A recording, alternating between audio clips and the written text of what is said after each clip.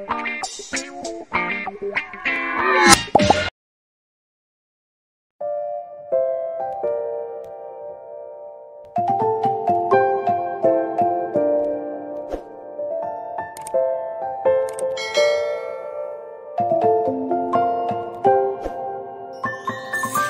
many places still undiscovered But you're stuck in